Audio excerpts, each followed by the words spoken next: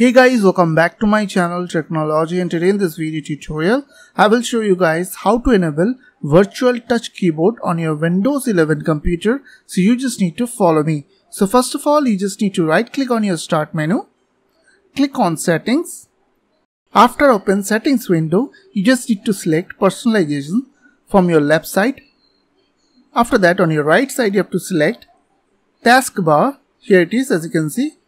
So select taskbar and after that here you will get one option. Is called touch keyboard. So you just you just need to enable this option. So as you can see touch keyboard is showing over there. Virtual keyboard is showing. So now if you want to change the theme or if you want to change some settings then you have to go to personalization once again. Go to uh, touch keyboard over there. Go to touch keyboard. Then from here you can change the color and theme easily.